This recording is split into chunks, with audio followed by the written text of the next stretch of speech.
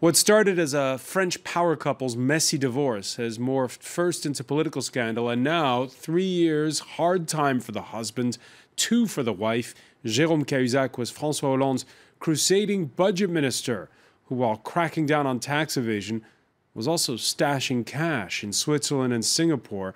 Now he's been sentenced. Next will come the appeal. Delano de Souza has the story. A stunned Jérôme Cahuzac left the courthouse knowing his fate. Moments earlier, he was handed a three-year prison sentence for tax evasion and money laundering. His ex-wife too was found guilty and sentenced to two years behind bars. It's important the tribunal gave a firm and reasoned response to the facts, the likes of which I hope we will not see repeat itself. As budget minister in François Hollande's government, Jérôme Cahuzac led a crackdown against tax evasion. But then a French investigative website alleged that the man who was tasked to fight tax fraud was guilty of the very crime himself. He even went before the French National Assembly to proclaim his innocence. I do not have and I have never had a foreign bank account, not now and not in the past. The government initially stood by the minister. But a parliamentary inquiry was opened after Cahuzac admitted to stashing his cash. The trained plastic surgeon and his wife hid millions of euros in accounts in Switzerland, Singapore, and the Isle of Man. In a rare move, President Hollande ordered ministers to publicly disclose their personal wealth, something considered private in France. It's an unforgivable act to lie about it. It's a disgrace to the French Republic, just as much as the crimes committed themselves. The defense team had argued Jérôme Cahuzac and his former wife should walk free because they paid back taxes and penalties worth around 2.5 million euros.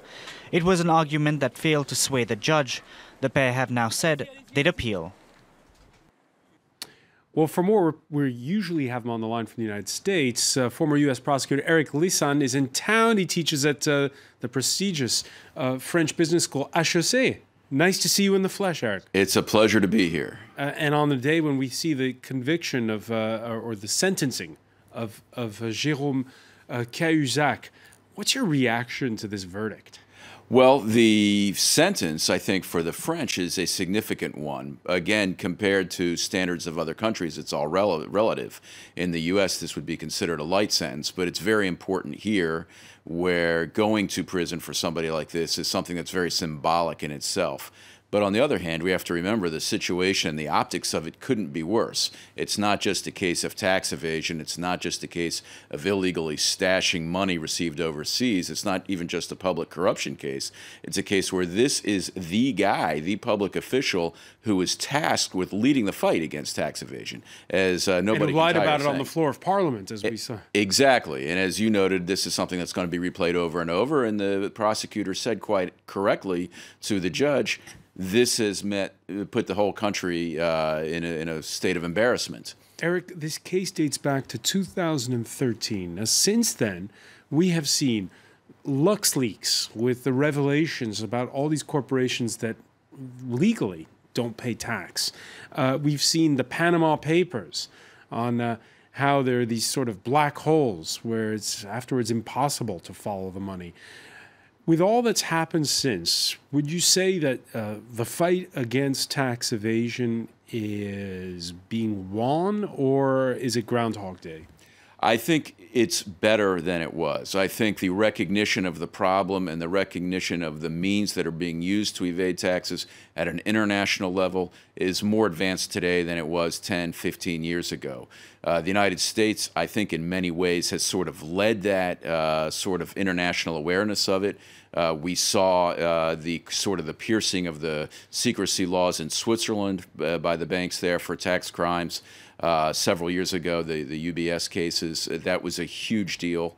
And now we see at the international level countries realizing there's a lot of revenue being lost here because of these crimes. And so it takes on an extra significance. And, uh, and so I think we're slowly but surely going towards a path of greater enforcement.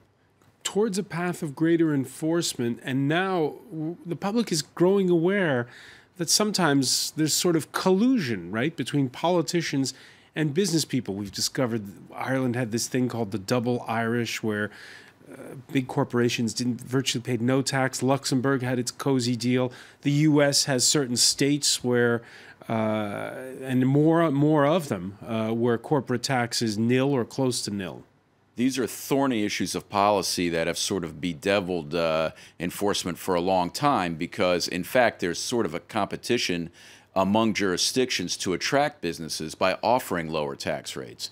In the United States, this is this sort of race to the bottom in terms of having fewer requirements in terms of disclosure, but there has to be a line drawn between what is legitimate competition and what is just uh, pure and simply tax evasion. And these international agreements, and, and more importantly, the enforcement of these international agreements, are what is going to be necessary to truly address the problem. And one final point on this the U.S. is always key in this because the dollar is the world's currency. President Trump, how's he going to be on this?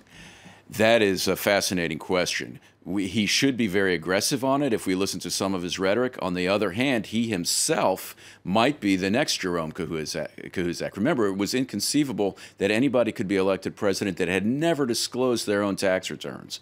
And he is the first that has never done that. And, uh, and we're talking major tax returns. He supposedly had a, almost a billion dollars in losses that he claimed in a very controversial maneuver. So we don't know what he's going to do.